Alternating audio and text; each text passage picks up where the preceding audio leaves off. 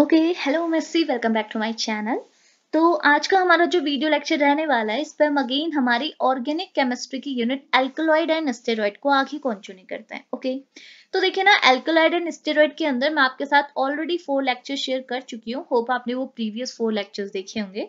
Because चारों lecture आपके काफ़ी इंपॉर्टेंट है, जिसमें से स्टार्टिंग के जो हमारे तीन लेक्चर्स थे, उस पर मैंने जस्ट आपको एल्कोलाइड के बेसिक कॉन्सेप्ट को समझाया था। पहले लेक्चर पे हमने एल्कोलाइड क्या होता है और इसका हमने क्लासिफिकेशन को समझा था। सेकेंड लेक्चर के अंदर मैंने आपको एल्कोलॉइड के स्ट्रक्चरल एल्यूसिडेशन के बारे में बताया था। यानी कि ये समझाया था कि अगर आपको कोई एल्कोलॉइड दे दिया जाए और उस एल्कोलॉइड में कैसे ग्रुप्स प्रेजेंट है, कैसा लिंकेज प्रेजेंट है, कौन से नाइट्रोजन एटम प्रेजेंट है, अगर ऐसी चीज़ें पूछी जाती हैं तो वहाँ पे हम कुछ मेथड कुछ अप्रोच का यूज़ करते हैं उन ग्रुप्स को, उन फंक्शनल ग्रुप को, उन लिंकेज को प्रूव करने के लिए। वो चीज़ें कहाँ कैसे यूज़ करनी है, वो मैंने आपको सेकेंड लेक्चर पे बताया था। एंड देन थर्ड लेक्चर के अंदर मैंने आपको आपके एल्कोलॉइड के फ़ंक्शन प्रॉपर्टीज़ एंड एक्सट्रैक्शन को कवर किया था। तो लास्ट के जो तीन लेक्चर थे, वो एक बेस थे आपके एल्कोलॉइड को समझने के लिए, ठीक है? उसके बाद लेक्चर नंबर फोर्थ से हमने हमारा लेक्चर स्टार्ट किया था, जिसके अंदर मैंने आपको हमारे फ़र्स्ट और पर्टिकुलर एल्कोलॉइड पे बात कराई थी विच इज़ रेसर प्राइन तो हमारा जो लेक्चर नंबर फोर था, उस पर मैंने रेसर प्राइन क्या होता है, और रेसर प्राइन का स्ट्रक्चरल एल्यूसिडेशन हमने लेक्चर नंबर फोर्थ पर कवर किया था, और उसी लेक्चर को आगे कंटिन्यू कर रहे हैं as a lecture number five जिसके अंदर हम हमारे सेम एल्को एल्कोलॉइड को ले रहे हैं which is reserpine but reserpine की अब हमने क्या समझ लिया सिंथेसिस यानी कि ये रेसर प्राइन जो आपने ऑलरेडी डिस्कशन कर लिया है लेक्चर नंबर फोर्थ पे, उस रेसर प्राइन की आज हम क्या देखेंगे? सिंथेसिस अब देखिए, इसकी जो सिंथेसिस है, वो काफ़ी इंपॉर्टेंट तो है ऑब्वियसली बात है, आपको पता भी होगी ये चीज़। लेकिन ये क्या है? थोड़ी सी लेंथी है थोड़ी सी नहीं, काफ़ी लेंथी है। बट लेंथी होने के बावजूद भी मैं आपको उसे आसान करके दूँगी। सिंपली मैं आपको सारे स्टेप्स को समझाऊँगी कि कैसे कौन सा बॉन्ड हो रहा है, कौन सा बॉन्ड टूट रहा है, कौन सा जुड़ रहा है और कैसे रिंग का फॉर्मेशन हो रहा है। आप जस्ट सुनते रहिएगा, ठीक है? अब देखो प्राइन का आपने स्ट्रक्चर देखा होगा, इसके अंदर आपको फाइव रिंग देखने को मिलती है। अब वो फाइव रिंग का आपने फॉर्मेशन करना है वो फाइव रिंग को फॉर्म करने के लिए थोड़ा टाइम तो लगेगा। इस वजह से थोड़ी लेंथी होगी सिंथेसिस बट छोड़िए उन सारी चीज़ों को, आप जस्ट पर्टिकुलरली अपनी सिंथेसिस पे ध्यान दीजिए। तो देखो, मैं स्टार्ट कर रही हूँ। देखिए, ये क्या बोलता है ना? जब भी आप अपने रेसर प्राइन को सिंथेसाइज करना चाहते हैं तो दो रिएक्टेंट मॉलिक्यूल का आप यूज़ करेंगे। जिसमें पहला रिएक्टेंट मॉलिक्यूल है पी बेंजोक्यूनोन और दूसरा रिएक्टेंट मॉलिक्यूल है आपका विनाइल अक्राइलिक एसिड अब आप देख लीजिए, दो रिएक्टेंट मॉलिक्यूल है, जिसमें पी बेंजोक्यूनोन है, वो आपकी साइक्लिक रिंग है, और जो आपका विनाइल अक्राइलिक एसिड है, वो आपका साइक्लिक रिंग नहीं है। तो आपने क्या करना होगा, देखो, एक साइक्लिक रिंग को आपने किसमें कन्वर्ट करना होगा? दो साइक्लिक रिंग में बिकॉज़ फाइनली जब आप अपना प्रोडक्ट बनाएँगे रेसरटाइन उसमें आपको पाँच रिंग चाहिए। तो मेन मोटिव फर्स्टली आपने क्या करना है रिंग का फॉर्मेशन करना है। एक रिंग को दो में कन्वर्ट करोगे, दो को तीन में, तीन को चार में, चार को पाँच में, तब जाके आपका रेसरटाइन बनेगा, ठीक है? अब कैसे करना है? देखो फर्स्टली आपको क्या बोला? दो रिएक्टेंट मॉलिक्यूल है पी बेंजो बेंजोक्यूनोन दूसरा विनाइल अक्राइलिक एसिड इनके बीच में रिएक्शन करो। तो मैं आपको हर वीडियो पे बोलती हूँ ऑर्गेनिक केमिस्ट्री की कि अगर रिएक्शन करने को बोला है तो आपको पहले जनरेट करने होंगे चार्ज बिकॉज़ दो चीज़ें अगर न्यूट्रल है जस्ट बेसिक बोल रही हूँ, अगर दो चीज़ें आपकी न्यूट्रल है तो बताइए क्या न्यूट्रल चीज़ें आपकी अप्रोच करेंगी? बिल्कुल नहीं करेंगी। अगर दो चीज़ों के बीच में, दो स्पीसीज है दोनों के बीच में चार्जेस हैं तो क्या वो अप्रोच करेंगी? क्या वो आपस में जुड़ेंगी? बिल्कुल जुड़ेंगी। तो आपने जोड़ना ही तो है। आपने एक रिंग को दो में कन्वर्ट करनी है, दो को तीन में, तीन को चार में, चार को पाँच में, तब जाके आपका रेसिपेंट बनेगा। तो चीज़ों को जोड़ने के लिए आपको क्या बनाने होंगे? चार्जेस चार्जेस कैसे बनेंगे? बॉन्ड को तोड़ने से। तो आपने यही करना है। आप क्या करोगे? यहाँ पे पी बेंजो क्यूनॉन को देखोगे। इस पी बेंजो क्यूनॉन में पाई बॉन्ड है। आप इस पाई बॉन्ड को तोड़ोगे। अब देखो, मैं पर्टिकुलरली एक एक करके सारी चीज़ें बता रही हूँ। ध्यान से सुनिएगा। देखो, यहाँ पे भी कार्बन बैठा है, यहाँ पे भी कार्बन बैठा है। दोनों कार्बन के ऊपर क्या लगा है एक डबल बॉन्ड एक पाई बॉन्ड लगा है अगर इस पाई बॉन्ड को तोड़ना है तो आपकी चॉइस आप किसी भी कार्बन पे पाई बॉन्ड को तोड़ सकते हो बिकॉज़ दोनों तो कार्बन एटम है।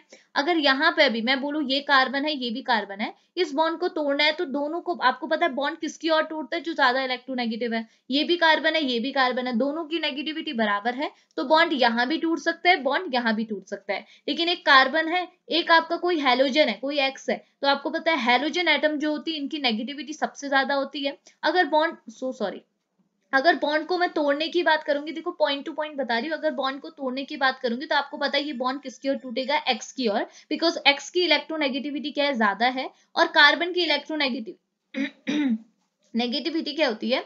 कम होती है। तो बॉन्ड किसके ऊपर टूटेगा? जिसकी नेगेटिविटी ज़्यादा है। लेकिन यहाँ तो दोनों कार्बन है तो आपकी चॉइस आप बॉन्ड नीचे भी तोड़ सकते हैं, ऊपर भी तोड़ सकते हैं।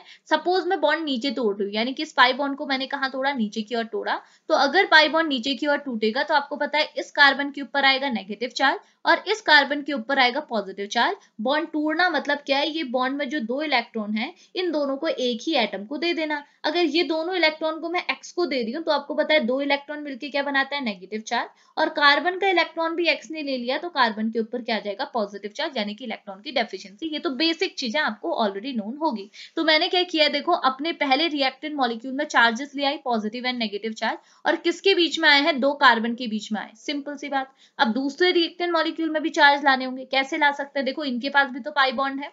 हमने क्या किया है, देखो हमने क्या किया, यहाँ पे आप, देखो, आपको पहले देखते ही क्या पता चल जाएगा, वैसे मैं आपको समझा दू देखते ही क्या पता चल जाएगा, यहाँ पे दो इलेक्ट्रॉन है, एक रिएक्टेंट मॉलिक्यूल में दो इलेक्ट्रॉन है, दूसरे में चार पाई इलेक्ट्रॉन है, देखो, इसके बाद दो पाई इलेक्ट्रॉन यहाँ पे, जहाँ पे रिएक्शन करा रहे हैं, उसको देखना है, ठीक है? इसके बाद दो पाई इलेक्ट्रॉन है, इसके बाद चार पाई इलेक्ट्रॉन है तो यहाँ पे फोर प्लस टू एडिशन होगी, जिसे आप बोलते हैं डायल सेल्डर रिएक्शन यानी कि आपको यहाँ पे क्या है एक नई सिक्स मेंबर रिंग का फॉर्मेशन देखने को मिलेगा। तो ये तो आप ऑलरेडी ऑलरेडी ऑर्गेनिक केमिस्ट्री में पढ़ चुके हैं डायल सेल्डर रिएक्शन तो वही चीज़ आपको यहाँ पर देखने को मिलेगी। अब आप क्या करेंगे देखो, एक रिएक्टेंट में चार्ज है, दूसरे में क्या चार्ज लाएँगे? यहाँ पे आपको पाइबॉन्ड देखने को मिल रहा है। आप क्या करेंगे अगेन ये कार्बन और कार्बन के बीच में पाई बॉन्ड है। देखो, इसको हटा रही कार्बन एंड कार्बन के बीच में पाई बॉन्ड है, आपकी चॉइस इसे भी आप पॉजिटिव चार्ज दे सकते हैं, इसे भी। तो मैंने क्या किया, इसे पॉजिटिव चार्ज दे दिया, इसे नेगेटिव यानी कि सोचा कि बॉन्ड किसकी ओर टूटा है, यहाँ की ओर टूटा है, ठीक है? तो एक कार्बन के ऊपर क्या है पॉजिटिव एक के ऊपर क्या है नेगेटिव ठीक है?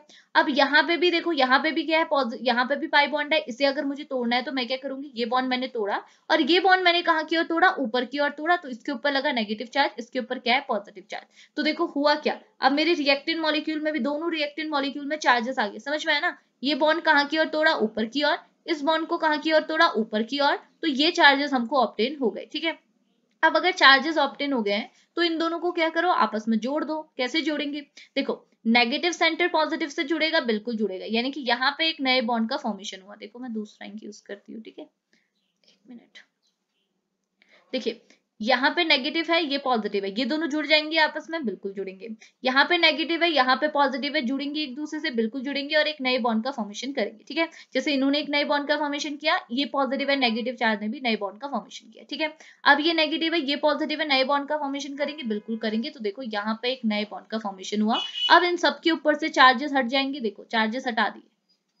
देखिए हट गए चार्जेस अब देखो आपको क्या देखने को मिली, एक नई सिक्स मेंबर रिंग देखने को मिली। बस, आपको पता है, ये तो डायल सेल्डर रिएक्शन थी और अगर हम डायरेक्टली देखें तो डायल सेल्डर रिएक्शन में क्या होगा? फोर प्लस टू एडिशन की वजह से एक सिक्स मेंबर रिंग का फॉर्मेशन होगा। और जो नंबर ऑफ़ पाई बॉन्ड थे, वो आपके कम हो जाएँगे। जैसे यहाँ पे कितने नंबर ऑफ़ पाई बॉन्ड थे? एक, दो, तीन। ये किसमें कन्वर्ट हो गए? सिर्फ़ एक में कन्वर्ट हो गए। यानी कि सिर्फ़ यहाँ पे एक पाई बॉन्ड आया। तो ये तो आपको पहले से नोन था। बस समझाने के लिए कि कैसे बॉन्ड टूटे, कैसे बॉन्ड जुड़े, उसको समझाने के लिए बस मैंने इतना काम किया। क्लियर हुआ? तो देखो, हमको six member ring milli. One two three four five and six clear और ये जो फिफ्थ वाली थी, इसमें हमारा क्या है? डबल बॉन्ड तो देखो वन इसे बोला था टू इसे बोला था थ्री बोला था फोर बोला था फिफ्थ में डबल बॉन्ड और ये हो गई सिक्स और यहाँ पे ये वाला जो है डबल बॉन्ड के एडजेसेंट में कार्बन में क्या है? एसिड लगा हुआ है. क्लियर हुआ? बस इतनी सी चीज़ आपने यहाँ पे करनी थी. तो पहले स्टेप में हमने क्या किया? डायल सेल्डर रिएक्शन करा के एक नई सिक्स मेंबर रिंग का फॉर्मेशन किया। क्लियर अब नेक्स्ट स्टेप में क्या करना है? नेक्स्ट स्टेप में आप क्या कराएँगे? रिडक्शन कराएँगे। वो भी किसके थ्रू कराएँगे? एनबीएच यानी कि सोडियम बोरोहाइड्राइड के थ्रू आप रिडक्शन कराएँगे और रिडक्शन में आपको क्या देखने को मिलेगा? ये आपको ये चीज़ भी पता होनी चाहिए, ये जो रिड्यूसिंग एजेंट है सोडियम बोरोहाइड्राइड और आपके जो ये लिथियम एल्यूमिनियम हाइड्राइड डाइबल है डाइबोरेन ये वगैरह जो ये सारे जो आपके रिड्यूसिंग एजेंट होते हैं, ये स्पेसिफिक रिड्यूसिंग एजेंट होता है। स्पेसिफिक रिड्यूसिंग एजेंट होते हैं मतलब कि ये आपके किसी पर्टिकुलर ग्रुप को ही रिड्यूस करते हैं, ठीक है रिडक्शन एजेंट ठीक है, ये कुछ ही पर्टिकुलर फंक्शनल ग्रुप को रिड्यूस करते हैं। तो आपको क्या देखने को मिलेगा कि ये जो सोडियम बोरोहाइड्राइड है, ये सिर्फ़ आपके कीटो को रिड्यूस करेगा एसिड को अफेक्ट नहीं करेगा। तो यहाँ पे आपके पास रिड्यूस होने के लिए क्या है? एसिड भी है। आपका यहाँ पर को क्या है? कीटो ग्रुप भी प्रेजेंट है। बट एसिड में कोई भी असर नहीं होगा। यहाँ पे आपके कौन रिड्यूस होंगे? सिर्फ़ आपके कीटो ग्रुप रिड्यूस होंगे। क्लियर हुआ? क्योंकि एसिड भी तो रिड्यूस हो सकता था। एसिड को भी आप रिड्यूस कर सकते थे कीटो को भी। लेकिन सोडियम बोरोहाइड्राइड लिया है। रिडक्शन हमने कराया बट सोडियम बोरोहाइड्राइड के थ्रू कराया है। तो सोडियम बोरोहाइड्राइड क्योंकि एक स्पेसिफिक रिड्यूसिंग एजेंट है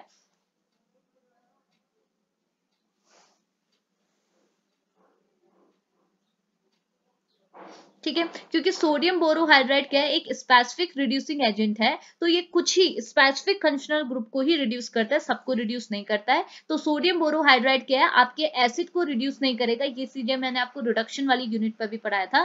तो एसिड आपका एज इट इज़ रहेगा। रिड्यूस कौन होगा? आपका कीटो ओके अब कीटो तो आपके दो है। इन दोनों में से कौन सी कीटो को आप रिड्यूस करेंगे? तो रिडक्शन क्या है? लेस इंडोर साइड में होगा। जहाँ पे हिंड्रेंस कम होगी, उस साइड में आपका क्या होगा? रिडक्शन होगा। तो देखो, यहाँ पे हिंड्रेंस हिंड्रेंस आपकी ज़्यादा है, यहाँ पे हिंड्रेंस आपकी कम है तो ऊपर वाला कीटो आपका रिड्यूस हो गया, किसमें कन्वर्ट हो गया? एल्कोहल में कन्वर्ट हो गया, बस इतनी सी चीज़ करनी थी तो बस इतनी चीज़ समझ लेना कि अगले स्टेप में आपने क्या करना है रिडक्शन बट रिडक्शन आपने ऐसा नहीं कि आपने यहाँ पे एच को जोड़ दिया, बस रिडक्शन मतलब क्या होता है एडिशन ऑफ़ एच तो H2 को मत जोड़ दीजिएगा आपने बस इतना याद रखना है कि यहाँ पे रिडक्शन आप क्या है? रिड्यूसिंग एजेंट सोडियम बोरोहाइड्राइड से कर रहे हैं, जो कि एक स्पेसिफिक रिड्यूसिंग एजेंट है, यानी कि ये कुछ ही फंक्शनल ग्रुप को रिड्यूस करेगा, कुछ को नहीं करेगा। और यहाँ पे हमारे पास एसिड है, आपको पता होना चाहिए कि सोडियम बोरोहाइड्राइड एसिड को अफेक्ट नहीं करता। ये कीटो को रिड्यूस करता है बट एसिड को नहीं करता तो एसिड आपका एज इट इज़ रहेगा। बस कीटो रिड्यूस होगा। कीटो भी कौन सा? जो लेस इंडोर साइड में तो ये लेस इंडोर साइड में तो कीटो आपका रिड्यूस हो गया, किसमें कन्वर्ट हो गया एल्कोहल में सिंपल ओके अगला क्या है? अगला आपका रिड्यूसिंग एजेंट है, आपका एमसीपीबीए मतलब meta chloro per benzoic acid okay अब एमसीपीबीए का काम क्या होता है? ये जो एमसीपीबीए ये भी आप पढ़ेंगे, ये चीज़ मैंने आपको पढ़ाई नहीं है ऑक्सीडेशन वाली यूनिट में आप ये चीज़ें पढ़ेंगे। मैंने आपको रिडक्शन पढ़ाया ऑक्सीडेशन नहीं पढ़ाया बट ये जब मैं पढ़ाऊँगी, आपको और क्लियर होगा कि कुछ रिड्यूसिंग एजेंट देखो एनबीएच था, देख के आपको पता चल गया कि ये कीटो को रिड्यूस करेगा एसिड को नहीं करेगा बिकॉज़ स्पेसिफिक रिड्यूसिंग एजेंट है। तो आप जब कॉन्सेप्ट पढ़ते हैं तो आपको चीज़ें समझ में आती है। तो ये मैंने रिडक्शन में पढ़ाया था, ये ऑक्सीडेशन का टॉपिक है बट ऑक्सीडेशन हमने पढ़ानी है अभी, ठीक है? बाद में पढ़ेंगे तो समझ में आ जाएगा। तो देखो एमसीपीबी यहाँ पे क्या बताती हूँ, देखो, ये जो एमसीपीबी होता है, ये ऑक्सीडेशन कराते हैं। ऑक्सीडेशन कराना मतलब एडिशन ऑफ़ ऑक्सीजन का मतलब एडिशन ऑफ़ ऑक्सीजन क्या होता है? ऑक्सीडेशन तो एमसीपीबी यहाँ पे क्या कराएँगे? ऑक्सीडेशन कराएँगे। और किसका ऑक्सीडेशन कराएँगे? देखो, होता क्या है? एमसीपीबी की प्रेजेंस में जो आपका एल्कीन होता है, जो आपका एल्कीन है, वो किसमें कन्वर्ट हो जाता है? एपोक्साइड में कन्वर्ट हो जाता है। क्लियर हुआ? एल्कीन किसमें कन्वर्ट हो जाता है? एपोक्साइड तो देखो, यहाँ पे आपके पास एल्कीन है तो आपको क्या देखने को मिलेगा? जैसे आप इस कंपाउंड को, ये जो एल्कीन वाली पोर्शन है, इसे आप एमसीपीबी यानी कि meta chloro per benzoic acid की प्रेजेंस में लेंगे तो ये जो आपका एसिड है, ये किसमें कन्वर्ट हो जाएगा? एपोक्साइड तो एसिड ये जो आपका सो सॉरी मैं एसिड बोल रही हूँ। जो आपका एल्कीन है, जो आपका डबल बॉन्ड है, ये जो डबल बॉन्ड है, ये किसमें कन्वर्ट हो जाएगा? एपोक्साइड यानी कि यहाँ पे क्या हो जाएगा? ऑक्सीजन जुड़ जाएगा। तो ऑक्सीजन का जुड़ना मतलब क्या हुआ? ऑक्सीडेशन तो यहाँ पे आपने क्या किया? Oxidation by MCPBA meta chloroperbenzoic acid जिसकी वजह से, देखो एमसीपीबीए की वजह से होता ही एक काम है कि ये क्या करता है? एल्कीन को डबल बॉन्ड को किसमें कन्वर्ट कर देता है? अपोक्साइड यानी कि डबल बॉन्ड की बजाय यहाँ पे क्या आ जाता है? ऑक्सीजन जुड़ जाता है। और ऑक्सीजन का जुड़ना मतलब क्या हो गया? ऑक्सीडेशन क्लियर हुआ? बस इतनी सी चीज़ आपने पहले स्टेप में करनी है। पहले आपने क्या किया? Diels Alder reaction four plus two addition उसके बाद आपने किया रिडक्शन उसके बाद आपने किया ऑक्सीडेशन रिडक्शन किया एनबी एच से, यानी कि सोडियम बोरोहाइड्राइड से, और ऑक्सीडेशन कराया एमसीपीबी यानी कि मेटाक्लोरो पर बेंजोइक एसिड से. क्लियर हुआ? तो देखो, तीन स्टेप कितने आसान थे। अब आगे बात करते हैं हमारे फोर्थ स्टेप में, ठीक है? अब देखिए, अब अगले स्टेप में आपने क्या करना है? आप सिंपल से स्टेप है, अगले स्टेप को समझो। अगले स्टेप में आप क्या करेंगे? वाटर का एलिमिनेशन यानी कि फोर्थ स्टेप में आप क्या करेंगे? वाटर को, यानी कि पानी के मॉलिक्यूल को बाहर निकालेंगे। अब वाटर कैसे एलिमिनेट होगा? तो देखो, यहाँ से आपने वाटर को निकालना है तो वाटर कहाँ से निकलेगा? आप देखो, ये जो एसिड आपका था ना, इसे मैंने खोल के लिख दिया सी डबल बॉन्ड ओ और नीचे लिख दिया ओ एच और आपको पता है वाटर को क्या चाहिए? वाटर को अगर मैं तोड़ू तो ये किसमें टूटेगा? H positive and O H negative यानी कि मुझे अगर वाटर बनाना है तो मुझे एक एच पॉजिटिव का आयन चाहिए एक एच नेगेटिव का आयन चाहिए तो देखो एच ओ एच नेगेटिव आपको यहाँ से मिल सकता है। अगर मैं इस बॉन्ड को क्लीव करूँ तो मुझे यहाँ से ओ एच नेगेटिव मिलेगा। कैसे? ये बॉन्ड टूटा मेरा। आपको पता है कार्बन एंड ऑक्सीजन के बीच का बॉन्ड तोड़ना है तो बॉन्ड किसकी ओर शिफ्ट होगा? जो एटम ज़्यादा नेगेटिव होगा। तो ऑक्सीजन नेगेटिव है तो oxygen as a negative charge carbon को मिलेगा यहाँ पे पॉजिटिव चार्ज तो देखो ओ OH नेगेटिव मिल गया, ठीक है? अब H पॉजिटिव का चारा कहाँ से है? H पॉजिटिव यहाँ से मिल सकता है। कैसे? अगर O और H के बीच के बॉन्ड को मैं तोड़ू तो O को मिलेगा नेगेटिव चार्ज हाइड्रोजन को मिलेगा पॉजिटिव चार्ज तो मैं क्या करती हूँ? यहाँ से H पॉजिटिव आयन निकालती हूँ, यहाँ से ओ OH नेगेटिव आयन निकालती हूँ और मुझे क्या मिल जाएगा? रिएक्शन कंडीशन में वाटर ओके अब वाटर निकल गया तो अब यहाँ पे क्या है? आयंस आ गए, ये O नेगेटिव हो गया, ये कार्बन पॉजिटिव अब आपको पता है, इन आयंस को हम ऐसे तो छोड़ नहीं सकते। अब क्या करेंगे? ये पॉजिटिव और नेगेटिव आपस में बॉन्ड बनाएँगे। तो होगा क्या? इन दोनों के बीच में क्या होगा? एक नए बॉन्ड का फॉर्मेशन किसके बीच में? कार्बन एंड ऑक्सीजन के बीच में। और इसी स्पीसीज को हमने यहाँ पे लिखा है। कैसे लिखा है? देखो, इसको थोड़ा सा इन्होंने ऐसा बना दिया। ये जो बॉन्ड मेरा सी डबल बॉन्ड वो नीचे था, इसे ऊपर बना दे देखो सी डबल बॉन्ड ओ ऊपर हो गया और कार्बन एंड ऑक्सीजन के बीच के बॉन्ड को इन्होंने थोड़ा और ऑक्सीजन को भी देखो, नीचे साइड ले लिया। समझो? इसको नीचे ले लिया, इसको यहाँ पे ओ को और इसको यहाँ पे सी डबल बॉन्ड ओ और इनके बीच में एक बॉन्ड बना दी जिसे ऐसे दिख रहा है। समझ में आया? तो वही स्पीसीज हमने यहाँ ले ली। बस आपने क्या किया? सिर्फ़ वाटर का एलिमिनेशन किया, ठीक है?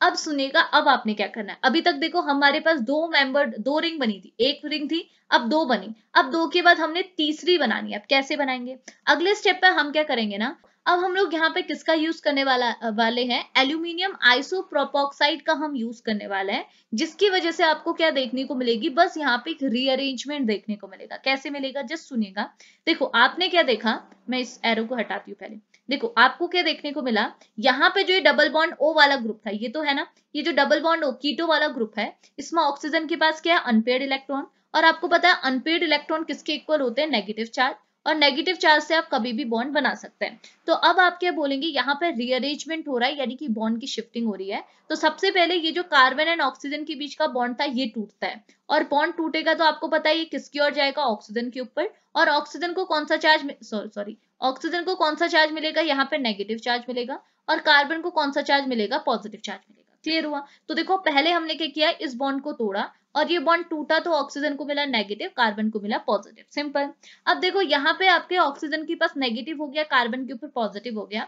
अब आप क्या देखेंगे, इस पॉजिटिव चार्ज को सेटिस्फाई करने के लिए एक और बैठा है यहाँ पे ऑक्सीजन बिकॉज़ ऑक्सीजन के ऊपर अनपेड इलेक्ट्रॉन होते हैं और आपको पता है अनपेड इलेक्ट्रॉन मतलब नेगेटिव चार्ज और नेगेटिव चार्ज क्या कर सकता है? बॉन्ड बना सकता है. तो आपको क्या देखने को मिलेगा, ये ऑक्सीजन क्या है? इस कार्बन के साथ बॉन्ड बना लेगा जिसकी वजह से कार्बन के ऊपर से पॉजिटिव चार्ज हट जाएगा. और ऑक्सीजन के ऊपर से अनपेड इलेक्ट्रॉन भी क्या हो जाएँगे? हट जाएँगे। क्लियर हुआ? तो ये चीज़ आपको यहाँ पर देखने को मिली।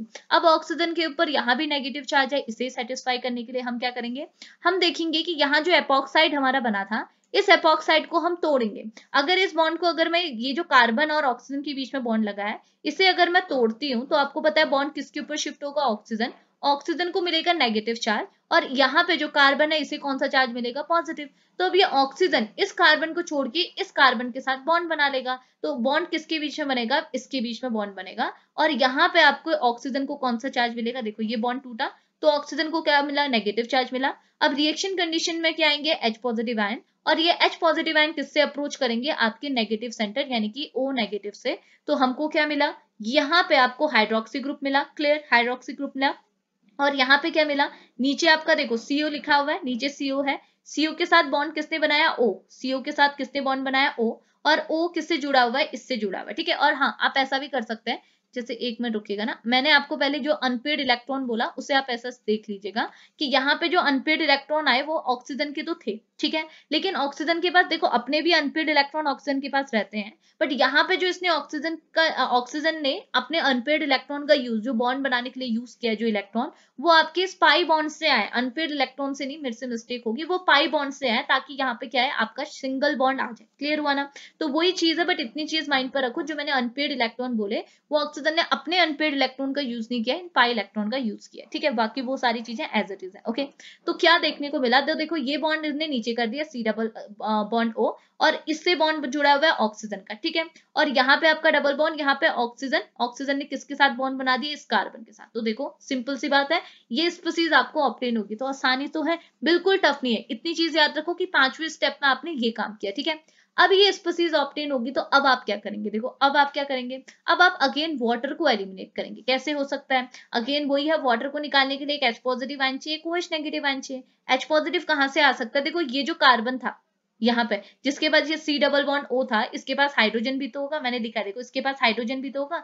ये कार्बन की वैलेंसी देखोगे तो चार होगी ना, एक ये, दो ये, तीसरी, और चौथी क्या होगी? हाइड्रोजन के साथ। तो आप यहाँ से हाइड्रोजन को निकाल सकते हैं। हाइड्रोजन जब निकलेगा तो यहाँ पे कार्बन के ऊपर कौन सा चार्ज आएगा? देखिए हाइड्रोजन अगर मैं निकालूँगी तो आपको पता है हाइड्रोजन तो पॉजिटिव चार्ज के फॉर्म में आएगा तो कार्बन के ऊपर कौन सा चार्ज आएगा? नेगेटिव इस पोजिशन में, ठीक है? और यहाँ से जब आप हाइड्रोक्सी ग्रुप निकालोगे तो हाइड्रोक्सी ग्रुप कौन से फॉर्म में निकलेगा? ओ के ऊपर कौन सा चार्ज आएगा? नेगेटिव और इस कार्बन के ऊपर कौन सा चार्ज आएगा? पॉजिटिव तो देखो, यहाँ से हमने हमारा वाटर तो निकाल लिया बट यहाँ पे पॉजिटिव एंड नेगेटिव चार्ज आ गए जैसे यहाँ पे आए थे. क्लियर अब क्या करेंगे? इन दोनों को जोड़ के बॉन्ड बना देंगे. तो देखो, यहाँ से तो वाटर निकल गया बट ये पॉजिटिव एंड नेगेटिव चार्ज आपस में जुड़ के क्या कर देंगे? यहाँ पे एक नए बॉन्ड का फॉर्मेशन हो जाएगा। क्लियर हुआ? तो देखो, कितना आसान था। अगले स्टेप में क्या किया? सिर्फ़ वाटर का एलिमिनेशन किया और वाटर के एलिमिनेशन से यहाँ पे एक ईन यानी कि एक डबल बॉन्ड का फॉर्मेशन हुआ। क्लियर हुआ। अब देखो, अब अगले स्टेप में आप क्या देखेंगे?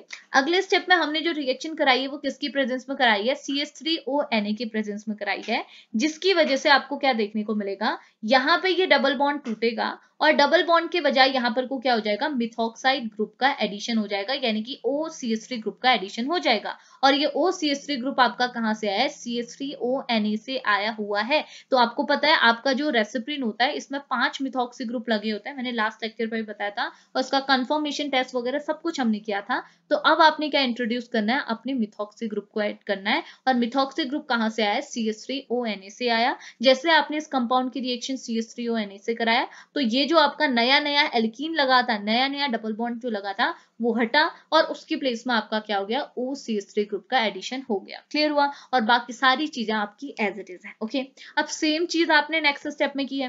नेक्स्ट स्टेप में रिएक्शन आपने एनबीएस की प्रेजेंस में किया और एस टू एसओ फोर की प्रेजेंस में की है। यहाँ भी आपको क्या देखने को मिला? जैसे यहाँ से डबल बॉन्ड हटके O C S three group आया, वैसे यहाँ से आपका डबल बॉन्ड हटा और क्या आया? देखो एनबीएस की वजह से यहाँ पे ब्रोमो ग्रुप ऐड हो गया इस पोजीशन में और आपका एस टू एसओ फोर की वजह से यहाँ पे क्या हो गया? हाइड्रोक्सी ग्रुप का एडिशन हो गया।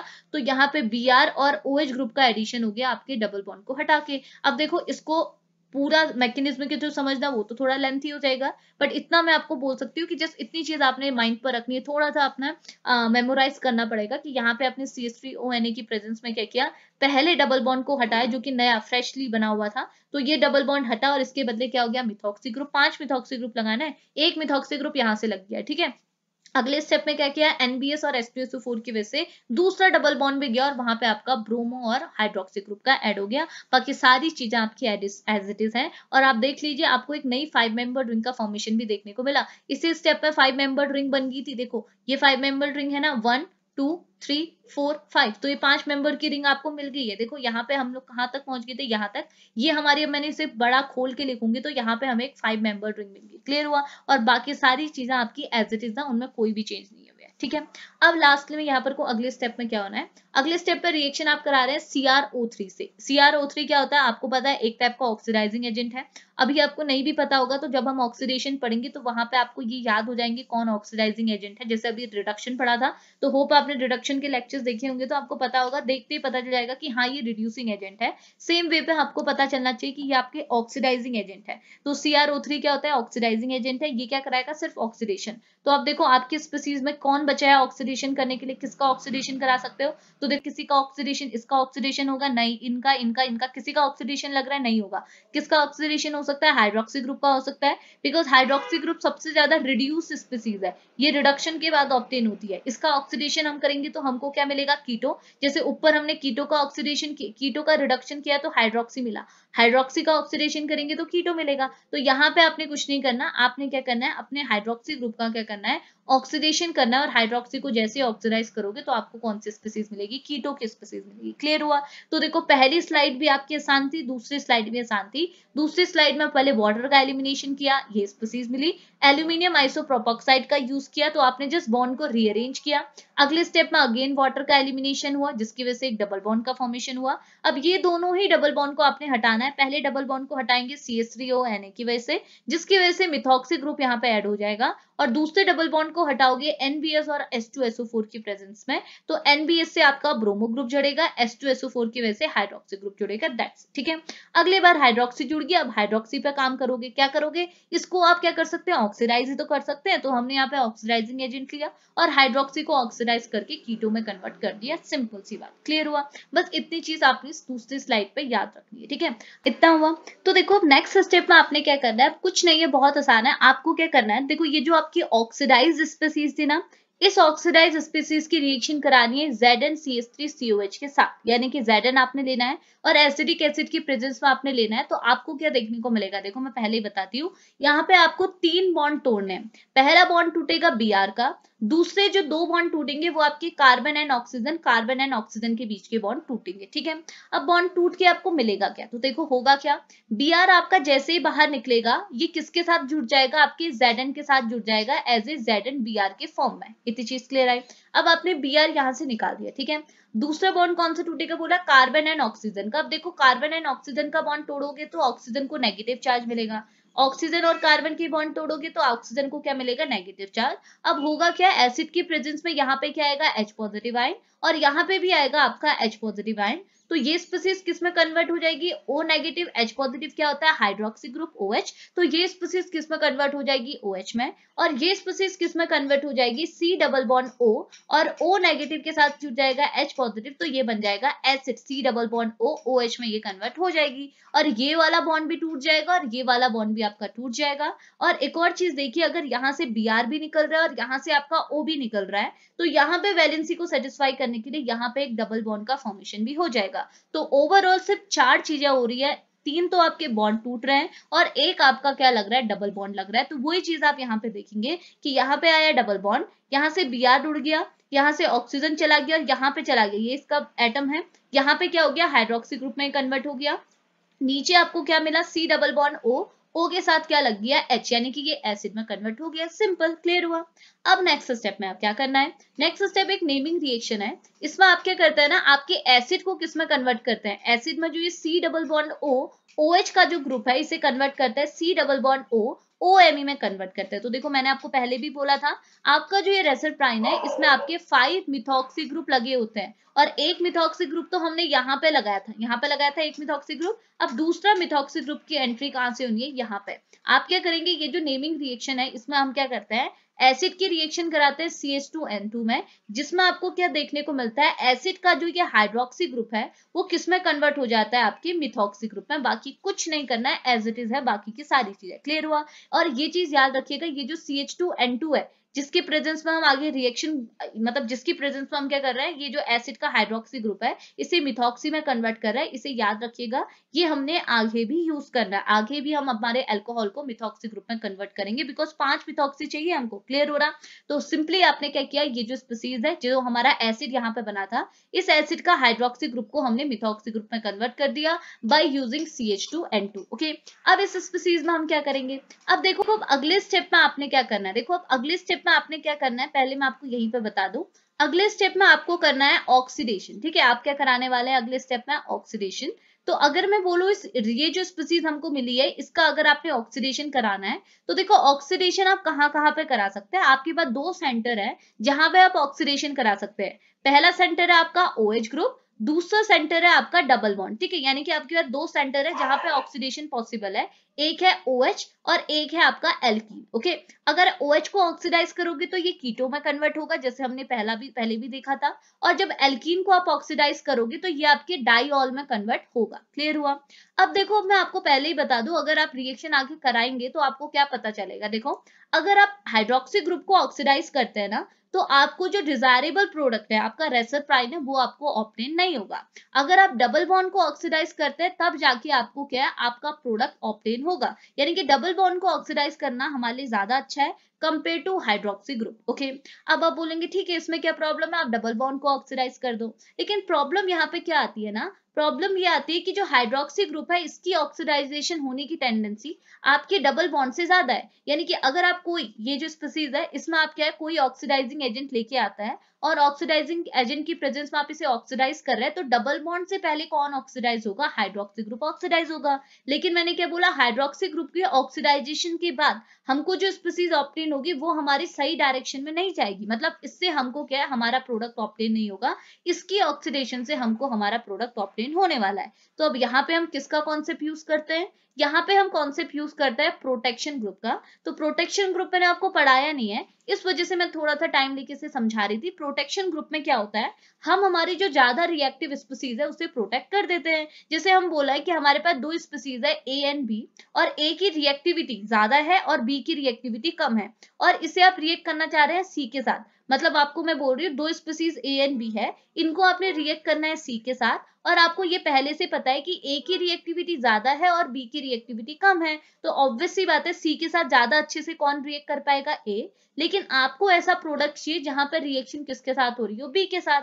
तो अब इस केस में हम लोग किसका यूज़ करते हैं? प्रोटेक्शन ग्रुप का यूज़ करते हैं। वो प्रोटेक्शन ग्रुप क्या करते हैं? जो ज़्यादा रिएक्टिव एलिमेंट होते हैं, जो ज़्यादा रिएक्टिव कंपाउंड होते हैं, उसे प्रोटेक्ट कर देते हैं, उसे शील्ड कर देते हैं।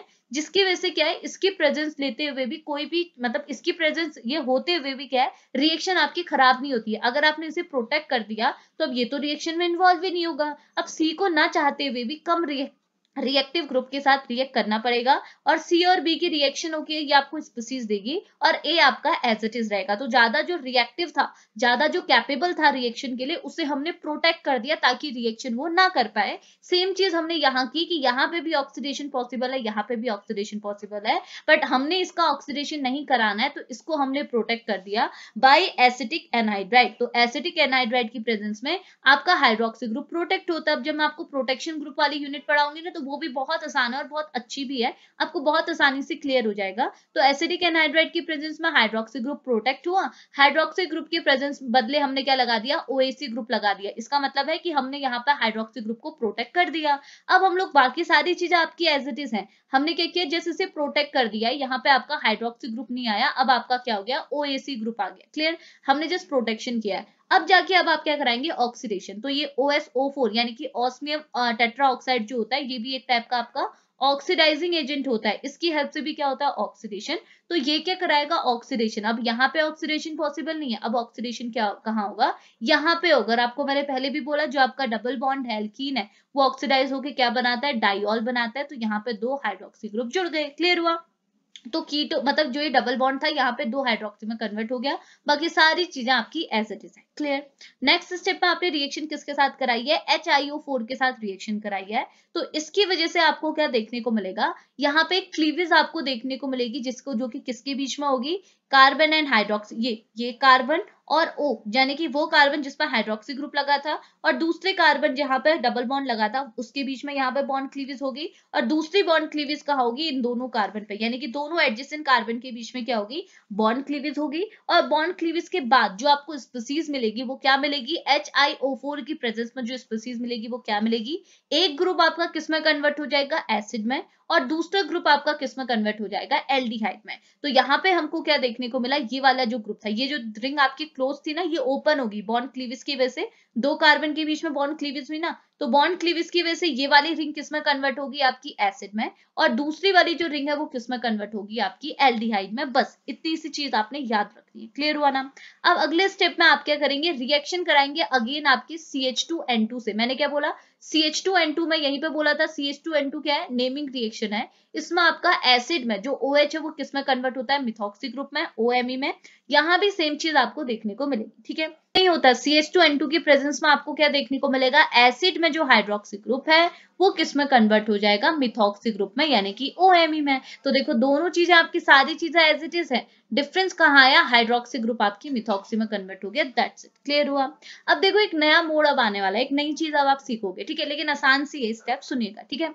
अगले स्टेप में आपने क्या करना है ना? अगले स्टेप में दो कंपाउंड के बीच में रिएक्शन करानी है। और रिएक्शन आपकी कैसे होने वाली है? कंडेंसेशन रिएक्शन आप यहाँ पर को कराने वाले ओके अब देखो कितना आसान है। आपको पता है ना कंडेंसेशन रिएक्शन मतलब क्या होती है? ऐसी रिएक्शन जिसमें दो reacted molecule A and B आपस में आपस में रिएक्ट करेंगे। और रिएक्ट करने के बाद क्या होगा? आपस में जुड़ जाएँगे। ए प्लस बी आपस में जुड़ के क्या बना रहे हैं? सी और एक कुछ मॉलिक्यूल जैसे आपके स्मॉल मॉलिक्यूल होते हैं वाटर जैसे हो गया अमोनिया इनका क्या होता है? एलिमिनेशन होता है, यानी कि ये आपके एलिमिनेट हो जाते हैं। तो यहाँ भी आपकी क्या होने वाली है? कंडेंसेशन रिएक्शन होने वाली है किन के बीच में? इन दो रिएक्टेंट मॉलिक्यूल के बीच में। अब ये एक रिएक्टेंट मॉलिक्यूल की तरह काम करेगा और दूसरा ये होगा reactant molecule which is six methoxy tryptamide तो सिक्स मिथॉक्सी ट्रिप्टामाइड और ये जो स्पीसीज हमको अभी तक ऑप्टेन हुई थी, इनके बीच में आपने कंडेंसेशन रिएक्शन करानी है। तो मैंने क्या बोला?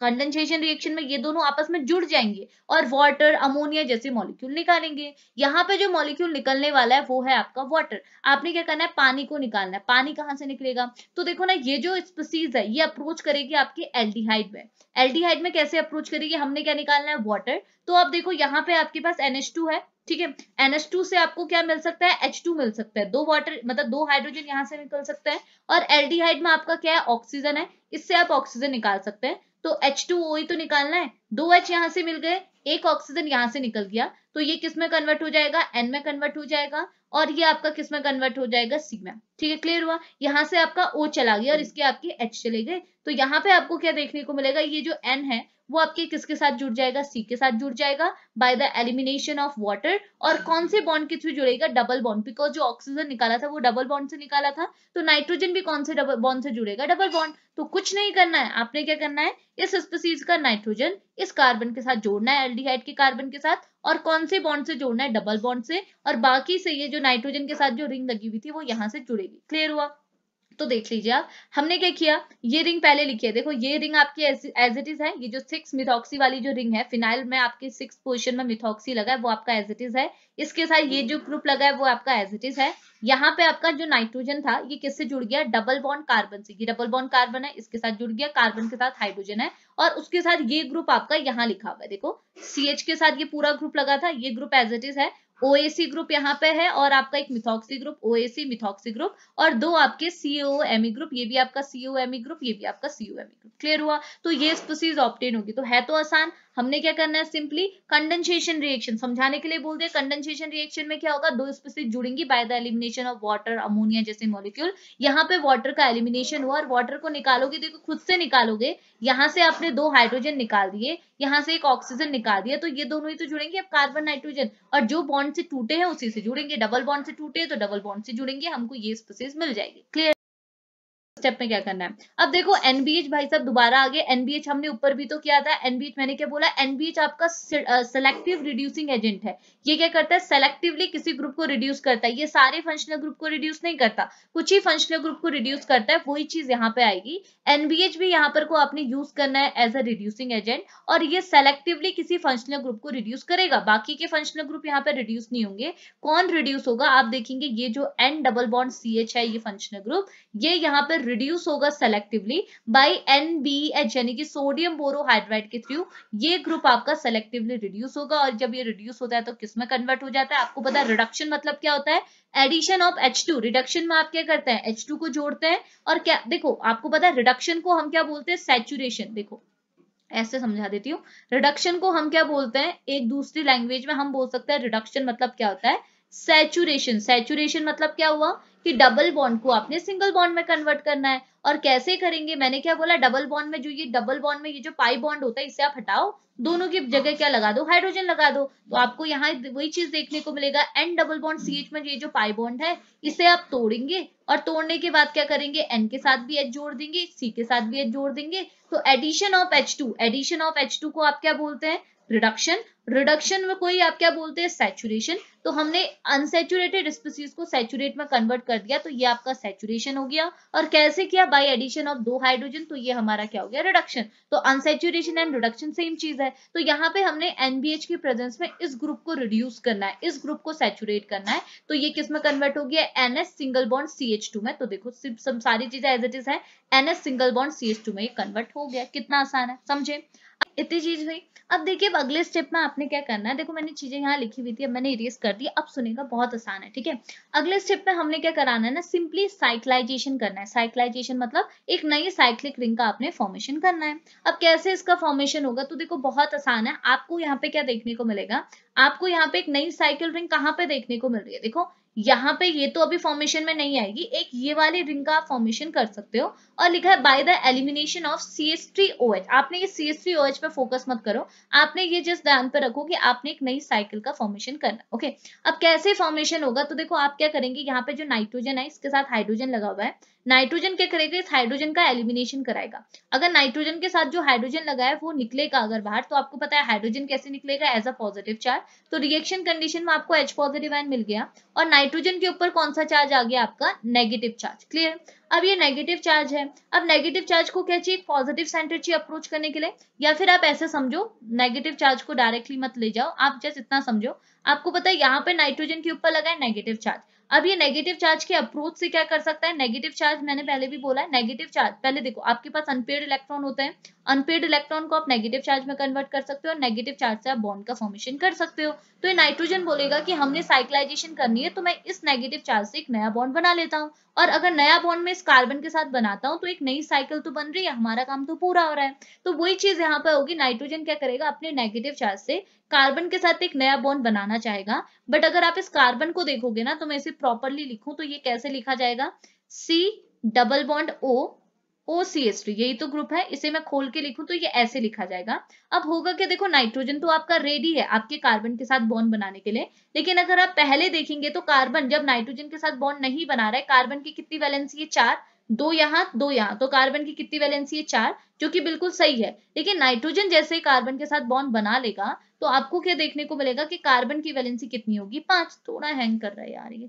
ठीक है, कार्बन की वैलेंसी कितनी होगी? फाइव और आपको पता है फाइव वैलेंसी में कार्बन कभी रहता नहीं है। अगर ये फाइव वैलेंसी बना रहा है तो आपने इसे वापस से फोर में ले जाना होगा, यानी कि एक बॉन्ड तोड़ना होगा। तो कौन सा बॉन्ड तोड़ेगा? तो आपको साफ़ साफ़ दिख रहा है, यहाँ पे डबल बॉन्ड ओ नहीं टूट सकता है, ये पूरी रिंग बाहर नहीं जा सकती। एक अच्छा लिविंग ग्रुप आपके पास है, वो है आपका ओ सी एस यानी कि मिथॉक्सी ग्रुप तो कार्बन क्या करेगा? अपने इन दोनों इलेक्ट्रॉन को देगा और किसे दे देगा? ऑक्सीजन को। Oxygen as a negative charge as a methoxy group आपकी बाहर निकल जाएगी as a O C S three negative के फॉर्म में। क्लियर हुआ? और यहाँ पे आपको क्या देखने को मिलेगा? कार्बन एंड नाइट्रोजन के बीच में एक नया बॉन्ड बन जाएगा नाइट्रोजन के ऊपर से नेगेटिव चार्ज हट जाएगा। तो हमको एक नई रिंग देखने को मिली, नई साइकिल देखने को मिली। तो आपको देखो, ये चीज़ आपने जैसे पहले से आपको पता ही है बट मेरे को ऐसा लगता है कि आपको चीज़ें पता नहीं है, इसलिए मैं रिपीट कर देती हूँ चीज़ों को। तो यहाँ पे हमने क्या करना है, बस एक नई साइकिल बनानी है। और कैसे साइकिल का फॉर्मेशन हुआ? नाइट्रोजन ने अपने नेगेटिव चार्ज का यूज़ करके नई साइकिल बनाई। और जब भी आपको पता है एक नया बॉन्ड बनता है तो पुराना टूटता ही टूटता है। तो हुआ क्या नाइट्रोजन ने अपने नेगेटिव चार्ज को यहाँ शिफ्ट किया। कार्बन ने अपने अपने पास जो ये मिथॉक्सी ग्रुप था, इसे बाहर शिफ्ट किया। तो ऐसे ही बॉन्ड की शिफ्टिंग की वजह से क्या हुआ साइक्लाइजेशन हुआ। और अब आप देख लीजिए, बाहर आपके पास H पॉजिटिव आयन है और दूसरा आपके पास OCH3 ये दोनों कंबाइन होंगे तो आपको क्या मिलेगा CH3OH क्लियर हुआ। बस इतना सा काम आपने नेक्स्ट स्टेप में करना था, ठीक है? अब इसका नेक्स्ट स्टेप भी और आसान है। अगले स्टेप में आपने क्या करना है, देखो अगले स्टेप में ये चीज़ आपकी बाहर निकलगी ठीक है? हमने इसको बना दिया यहाँ, ठीक है? ये चीज़ मैंने यही बता दी बट ये स्पीसीज यहाँ मिली है, ठीक है? अब अगली चीज़ें क्लियर रही अब देखो नेक्स्ट स्टेप में आपने क्या करना है? नेक्स्ट स्टेप में आप यूज़ करने वाले हैं POCl3 का, यानी कि फॉस्फोरस ऑक्सीक्लोराइड का। फॉस्फोरस ऑक्सीक्लोराइड की रिएक्शन कराएँगे आप इस स्पीसीज के साथ और आपको एक नई चीज़ मिलेगी और आप रिएक्शन के काफ़ी मतलब एंड प्रोडक्ट के काफ़ी पास हो गए, बहुत आसानी से रिएक्शन हो जाएगी, ठीक है? अब देखो, होने वाला क्या है? मैं आपको बताती हूँ। आपको पहले ये जो आपका POCl3 इसे मैं ऊपर लिख देती हूँ। होता क्या है? यहाँ पे होता है आपके पास पी डबल बॉन्ड ओ यहाँ पे कितना गंदा बन गया? यहाँ होता है P डबल बॉन्ड O और यहाँ Cl Cl एंड Cl, ठीक है? अब होता क्या है? देखो सिंपल सी बात है, हमने क्या देखना होता है? यहाँ पे आपका जो ऑक्सीजन है ये आपके फॉस्फोरस से अप्रोच करता है एज अ नेगेटिव चार्ज कैसे? आपको देखने को मिलेगा ऑक्सीजन एंड कार्बन के बीच में डबल बॉन्ड है। पहले ये डबल बॉन्ड क्या होता है? आपका क्लीव होता है। ये जो पाई बॉन्ड है, आपका क्लीव होता है। और क्लीव होगा तो आपको पता है ऑक्सीजन के ऊपर जाएगा नेगेटिव और कार्बन के ऊपर क्या जाएगा? पॉजिटिव चार्ज और आपका जो ऑक्सीजन नेगेटिव है, अभी अप्रोच करेगा आपकी फॉस्फोरस से। ठीक है, ये आपका अप्रोच करेगा फॉस्फोरस से। अब आप देखो ना, पहले बिना अप्रोच किए, अगर आपने अप्रोच नहीं करा है तो आपको देखने को मिल रहा है फॉस्फोरस ने यहाँ पे कितने बॉन्ड बनाए? पाँच। और मैक्सिमम मैक्सिमम जो टेंडेंसी होती है फॉस्फोरस की बॉन्ड बनाने की, वो कितनी होती है? पाँच होती है। और फॉस्फोरस ने पाँच बॉन्ड बनाए भी है ओके लेकिन ऑक्सीजन अब चाहता है कि ये क्या करे? फॉस्फोरस के साथ एक नया बॉन्ड बनाए। तो आपको पता है, नए बॉन्ड को तो हम मना कर ही नहीं सकते। नया बॉन्ड का फॉर्मेशन तो होगा। ऑक्सीजन अपने नेगेटिव चार्ज के थ्रू एक फॉस्फोरस के साथ एक नया बॉन्ड तो बनाएगा बट एक नया बॉन्ड बन रहा है तो एक पुराना नया, पुराना बॉन्ड आपका क्या होगा? टूटेगा। तो पुराना बॉन्ड कौन सा टूट सकता है? क्लोरीन का बिकॉज़ आपको पता है, जो आपके क्लोरीन होते हैं, या फिर आप बोलो आपके जो हेलोजेंस होते हैं, वो एक अच्छे लिविंग ग्रुप होते हैं तो अच्छे लिविंग ग्रुप होने की वजह से यहाँ से आपका क्या होगा? क्लोरीन का एलिमिनेशन होगा। और फॉस्फोरस की देखो, अभी भी कितने वैलेंसी है, यहाँ पे फाइव ही है। फॉस्फोरस ने कितने बॉन्ड बनाए? पाँच ही बनाए। तो हमको क्या देखने को मिलेगा? ऑक्सीजन और फॉस्फोरस के बीच में बॉन्ड जुड़ जाएगा और क्लोरीन का एलिमिनेशन हो जाएगा। तो कुछ इस टाइप का यहाँ पर कोई नए बॉन्ड का फॉर्मेशन होगा ओके अब यहाँ पे कार्बन बेचारा एक पॉजिटिव फॉर्म में आ गया। अब कार्बन की पॉजिटिविटी भी तो हटानी पड़ेगी। तो होगा क्या? यहाँ पे नाइट्रोजन के पास भी तो अनपेड इलेक्ट्रॉन होंगे। और मैंने जैसे बोला unpaired electron is equal to negative charge negative charge is equal to bond तो यहाँ पे जो नाइट्रोजन है, अपने नेगेटिव अनपेड इलेक्ट्रॉन को नेगेटिव चार्ज में कन्वर्ट कर सकता है और नेगेटिव चार्ज से आपकी क्या बन सकते हैं? बॉन्ड तो वही होगा नाइट्रोजन क्या करेगा? अपने अनपेड इलेक्ट्रॉन से एक नए बॉन्ड का यहाँ पे फॉर्मेशन करेगा। अगर नया बॉन्ड बनता है तो कार्बन की पॉजिटिविटी चले जाएगी बिकॉज़ कार्बन की वैलेंसी पहले कितनी थी? देखो, अगर ये बॉन्ड नहीं बनता तो वैलेंसी कितनी थी? एक, दो, तीन। सिर्फ़ तीन बॉन्ड एक, दो, तीन। और आपको पता है कार्बन कितने बॉन्ड बनाएगा? चार। तो चौथे को बनाने के लिए नाइट्रोजन ने अपने अनपेड इलेक्ट्रॉन डोनेट किया और नए बॉन्ड को यहाँ पे बनाया, जिसकी वजह से कार्बन की वैलेंसी यानी कि जो नंबर ऑफ़ बॉन्ड थे वो कितने हो गए? पूरे हो गए, चार बॉन्ड हो गए और कार्बन के ऊपर से पॉजिटिव चार्ज हट गया। लेकिन अब बेचारा नाइट्रोजन फंस गया नाइट्रोजन के ऊपर अब आपका क्या आ गया? पॉजिटिव चार्ज बिकॉज़ नाइट्रोजन ने अपने अपने, उसके जो पर्सनल इलेक्ट्रॉन्स थे, उनको क्या कर दिया? डोनेट करके एक नया बॉन्ड का बनाया फॉर्मेशन किया। किसके लिए? कार्बन के लिए। लेकिन नाइट्रोजन के ऊपर अब क्या आ गया? पॉजिटिव चार्ज बिकॉज़ अब इसके ऊपर क्या होगी? इलेक्ट्रॉन की डेफिशिएंसी बिकॉज़ इसके इलेक्ट्रॉन को, इसका एक इलेक्ट्रॉन तो इसी के पास है बट दूसरा इलेक्ट्रॉन किसके पास चले गया? कार्बन के पास। क्लियर हुआ? क्लियर हुआ ना? इतनी चीज़। अब देखो, ये स्पीसीज को हमने नीचे लिखा हुआ है। देखो एज इट इज़ है। यहाँ पे नाइट्रोजन के ऊपर पॉजिटिव चार्ज आया नाइट्रोजन कार्बन के बीच में डबल बॉन्ड ऑक्सीजन के साथ सिंगल बॉन्ड और ऑक्सीजन ने किसके साथ बनाया? फॉस्फोरस फॉस्फोरस के बाद डबल बॉन्ड हो और यहाँ पे दो आपके क्लोरीन क्लियर हुआ। इतनी चीज़ पहले आपको ऑप्टेन हो गई, ठीक है? अब अगले स्टेप में हमने क्या करना है? देखो, अगले स्टेप में अब आपको प्रॉब्लम ये दिखेगी कि नाइट्रोजन भाई, नाइट्रोजन तो एक नेगेटिव एलिमेंट है और मैं पहले ही बोलती हूँ कि किसी भी नेगेटिव एलिमेंट के ऊपर आपका नेगेटिव चार्ज इज़ ओके लेकिन पॉजिटिव चार्ज कभी नहीं आ सकता। लेकिन यहाँ पे नाइट्रोजन आपका नेगेटिव एलिमेंट भी है, लेकिन इसके ऊपर क्या हो गया? पॉजिटिव चार्ज अब जल्दी से जल्दी हमने इसके ऊपर से जो पॉजिटिव चार्ज लगाए इसको हमने हटाना पड़ेगा। अब हटाएँगे कैसे? हम क्या करेंगे देखो, यहाँ पे जो ये डबल बॉन्ड है, इस डबल बॉन्ड का यूज़ कर सकते हैं ना? ये जो बॉन्ड है ना, इसका यूज़ कर सकते हैं। कैसे? देखो, ये जो बॉन्ड है, अगर हम इसे तोड़ेंगे तो इस मतलब ऐसा जैसे इतना समझो कि यहाँ पे क्या करेगा ना?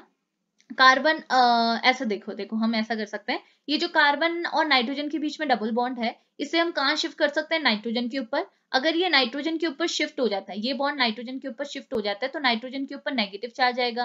पहले नाइट्रोजन के ऊपर था पॉजिटिव चार्ज तो नेगेटिव पॉजिटिव एक दूसरे को सेटिस्फाई कर देंगे। लेकिन अब कार्बन के ऊपर क्या आ जाएगा? पॉजिटिव चार्ज इस पॉजिटिव चार्ज को कौन सेटिस्फाई करेगा? ये डबल बॉन्ड जिसकी वजह से क्या होगा? कार्बन के ऊपर से पॉजिटिव चार्ज हट जाएगा और यहाँ पे एक बॉन्ड का फॉर्मेशन हो जाएगा और इस बॉन्ड का यहाँ पे क्या हो जाएगा? एलिमिनेशन हो जाएगा। क्लियर हुआ? तो अब हमको देखो, ये रिंग ऑप्टेन हो गई। क्लियर हुआ ना? तो वही चीज़ मैंने यहाँ लिखी है। ये आपका C S three O H group O group था और यहाँ पे आपका ये रिंग आपकी जो पहले अनसेचुरेशन था, वो सेचुरेशन में कन्वर्ट हो गया।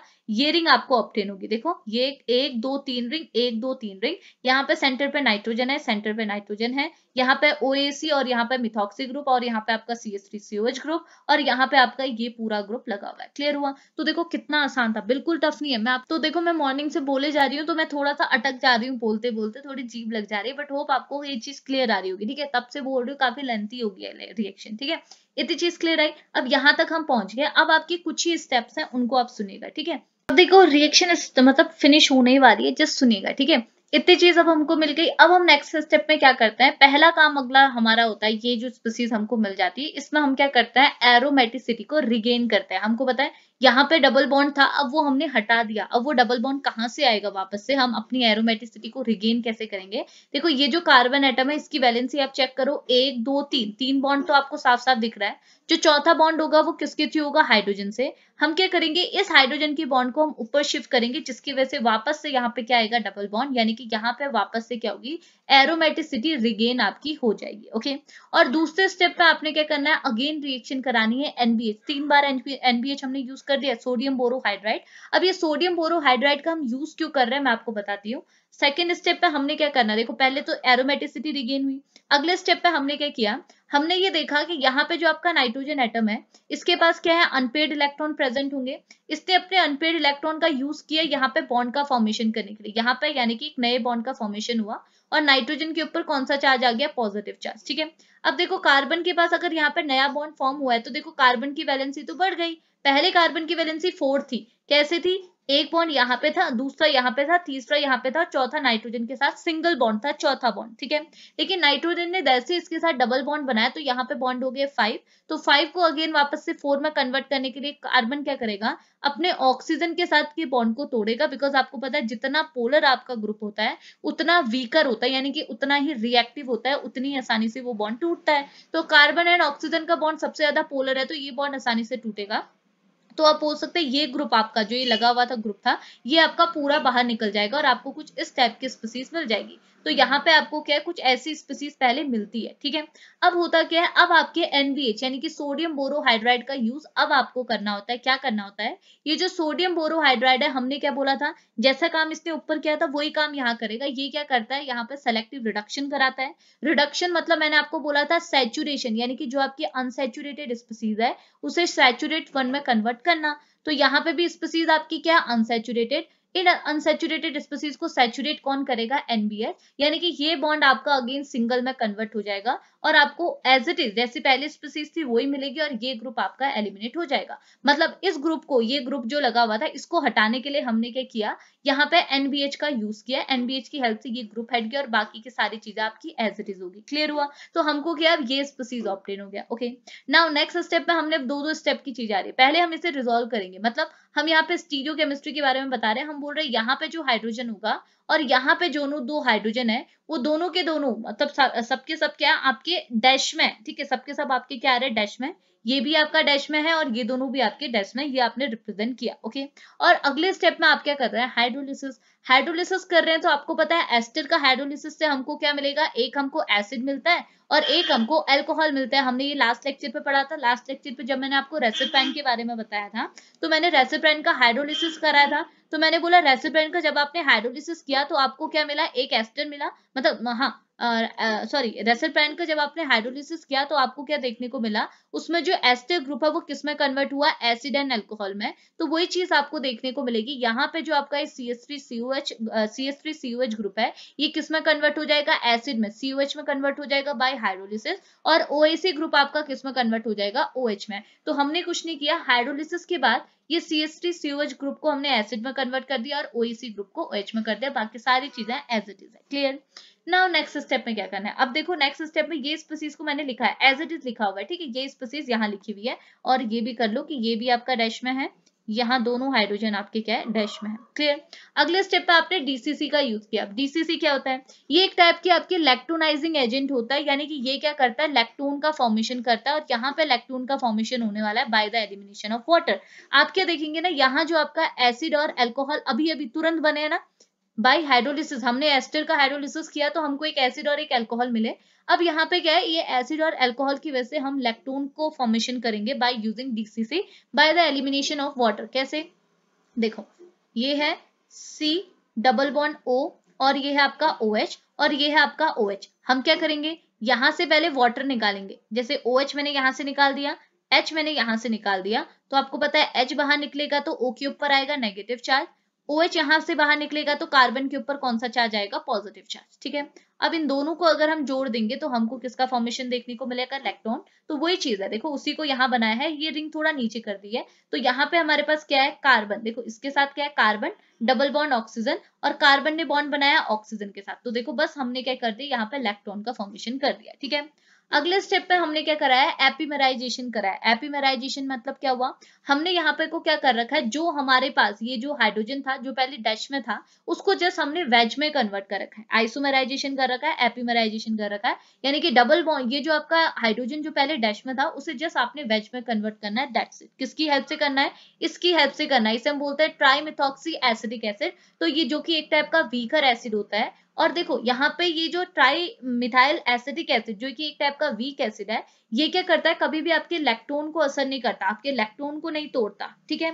ये लैक्टोन को तोड़ने के बजाय क्या करेगा? यहाँ पे जो आपका हाइड्रोजन जो पहले डैश में था, उसको वेज में कन्वर्ट करेगा या फिर आप बोल सकते हो सिंपली एपीमराइजेशन कराएगा, ठीक है? अगले स्टेप में जाके हम लोग क्या करेंगे? अब हमारे लैक्टोन को तोड़ेंगे, यानी कि ये जो लैक्टोन की रिंग बनी थी, इसे अब हमने क्लीव करना है। किसकी हेल्प से करना है? मिथेनॉल की हेल्प से करना है। तो हम इसे बोलते हैं मिथोनोलाइजेशन ऑफ़ ए यानी कि हम क्या करते हैं? लाइसिस कराते हैं मिथोनोलाइसिस मतलब क्या हुआ? मिथेनॉल की हेल्प से हमने लाइसिस कराया। लाइसिस मतलब हमने यहाँ पे क्लीवेज कराया। किसका कराया? लैक्टोन का कराया। तो हमने बोला मिथेनोलाइसिस ऑफ़ लैक्टोन यानी कि मिथेनॉल की हेल्प से हमने क्लीविस कराई किसकी? लैक्टोन की। तो ये है आपका लैक्टोन यहाँ पे आपने मिथेनॉल की हेल्प से क्लीविस कराई। और जैसे आप लैक्टोन को तोड़ेंगे तो वापस से ये आपके किसमें कन्वर्ट हो जाएगा? देखो, ये जो सी डबल बॉन्ड ओ है, इसके साथ आपका ओ सी एस टी में ये कन्वर्ट हो जाएगा और ओ के साथ आपका क्या जुड़ जाएगा? हाइड्रोक्सी ग्रुप तो हमने यहाँ पर को क्या किया? देखो, मैं बताती हूँ कैसे किया, वो भी बताती हूँ। देखिए एक बार। इतना तो खुद ही समझ जाएँगे, ऐसा कोई इश्यू नहीं है बट फिर भी चलो बता देता है। देखो, हमने क्या करना है? लैक्टोन को तोड़ना है, ये लैक्टोन की रिंग किसके थ्रू तोड़ना है? मिथेनॉल के थ्रू तोड़ना है। तो अगर मैं मिथेनॉल को क्लीव करूँ तो ये कैसे टूटेगा? C S three O negative और H पॉजिटिव तो हमने क्या करना है? जैसे हम बोलते हैं ना, जैसे मैं आपसे बोलूँ कि हमारे पास, जैसे हम ग्रिगनाट रीजन का केस में हम लोग कहते हैं, जैसे कोई भी ले लो आप, हम लोग क्या करते हैं? हाइड्रोलिसिस कर रहे हैं, बोलते हैं तो हम क्या करते हैं? वाटर की प्रेजेंस देते हुए तोड़ते हैं। कैसे तोड़ते हैं? एक जगह एच पॉजिटिव आयन को जोड़ते हैं, एक जगह ओ एच नेगेटिव आयन को जोड़ते हैं। यही तो करते हैं। सेम वे पे आपने यहाँ भी काम किया है। आपने क्या करना है? लाइसिस करानी है अपने लैक्टोन को तोड़ना है बट किसकी हेल्प से करना है? मिथेनॉल की हेल्प से तोड़ना है। तो मिथेनॉल कैसे टूटता है? मिथेनॉल के दो पार्ट होते हैं। एक होता है आपका C H three O negative एक होता है आपका सो so सॉरी तो देखो हमको क्या मिलती है? ए, अरे क्या हो रहा है? ए, अरे अरे दो दो क्यों आ रहा? अरे यार, ये थोड़ा प्रॉब्लम आ रहा है। चलो मैं ऐसे समझ, देखो, हमने क्या बोला, हमारे पास दो चीज़ मिलेगी, एक मिलेगी सी एस थ्री ओ और एक मिलेगी आपका एच नेगेटिव आयन ठीक है? अब आपने क्या करना है लैक्टोन को तोड़ना है लैक्टोन में लाइसिस कराना है, यानी कि क्लीविस तो अगर आप इस बॉन्ड को यहाँ से तोड़ते हैं तो आपको क्या देखने को मिलेगा, एक आपका कैसे, देखो, इसको, इस बॉन्ड को अगर आप तोड़ते हैं हाँ इस बॉन्ड को अगर आप तोड़ेंगे तो आपको पता है, ये बॉन्ड किसके ऊपर टूटेगा ऑक्सीजन के ऊपर एज अ नेगेटिव चार्ज और कार्बन के ऊपर कौन सा चार्ज पॉजिटिव चार्ज तो देखो मैं तोड़ के भी दिखा देती हूँ। लाइसेंस हमने कराई। ऑक्सीजन को नेगेटिव चार्ज कार्बन को पॉजिटिव चार्ज किसके थ्रू करा रहे हैं? मिथेनॉल के थ्रू करा रहे हैं। तो मिथेनॉल का जो नेगेटिव ये पॉजिटिव जो नेगेटिव चार्ज है वो कहाँ जाएगा? पॉजिटिव के साथ. यानी कि ये चले जाएगा यहाँ पे तो ये क्या हो जाएगा? ओ सी एस थ्री और जो ओ नेगेटिव है, ये जाएगा पॉजिटिव के साथ। तो ओ के साथ क्या जुड़ जाएगा? एच तो हमको क्या देखने को मिला? ये बन गया आपका। अरे यार, छी। तो देखो ये क्या बन जाएगा आपका ओ OH और ये आपका क्या बन जाएगा C double bond O C H three तो देखो, हमने कुछ नहीं किया है एज इट इज़ सारी चीज़ों को लिखा हुआ है। क्लियर हुआ? तो यहाँ पे ये चीज़ हमारी बन गई, ठीक है? अब लास्ट है फाइनल स्टेप है। इसमें आपने क्या करना है? इस स्टेप में आपने फाइनली क्या करना है? देखो, यहाँ पे आप किसका यूज़ करने वाले हैं अब? इस रिएजन का यूज़ करने वाला है? ये क्या है? ये है आपका three four five trimethoxy benzoyl benzoyl chloride ठीक है? अब यहाँ पे करने वाले क्या है? तो देखो, यहाँ पे आपको सीएल दिख रहा है ना? अब सीएल दिख रहा है तो आपको पता है ना क्लोराइड दिख रहा है ये। सीएल दिख रहा है। सीएल हमेशा एलिमिनेट ही होता है अच्छा लिविंग ग्रुप है। तो आपने यहाँ पे क्या करना है? ये जो ओ OH है इसका अप्रोच कराना है इस ग्रुप के साथ। कैसे कराओगे?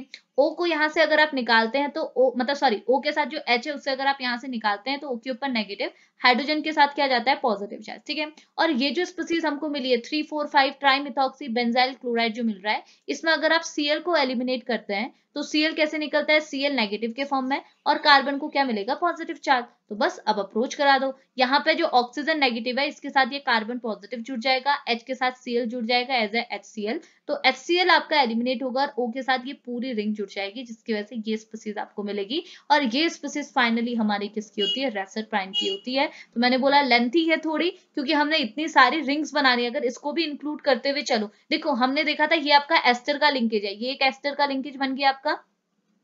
एक एस्टर बन गया आपका। ये आपका एस्टर हो गया।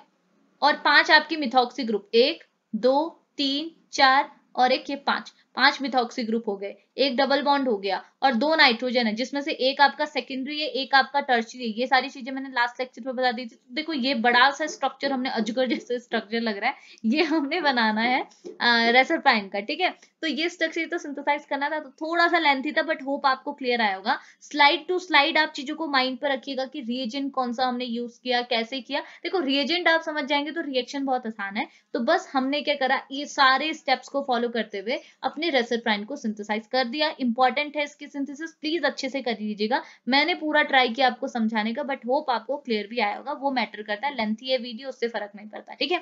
इतनी चीज़ समझ में आई? बस इतना सा काम हमने करना था। तो ये था हमारा आज का लेक्चर रेसिपाइन पे जिसपे हमने बात कर ली सिंथेसिस एंड लास्ट लेक्चर पे स्ट्रक्चर एल्यूसिडेशन पे।